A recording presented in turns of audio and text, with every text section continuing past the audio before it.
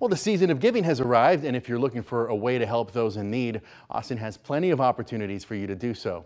Tomorrow is the second annual Turkey Trot at Del Valle High School. You can get in a good run while also helping feed hundreds of families and also raising money for toy drives.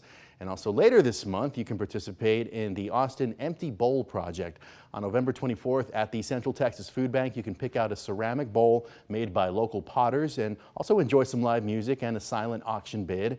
And then all of the proceeds raised are going to go to the Central Food Bank's Kids Cafe and Meals on Wheels Central Texas.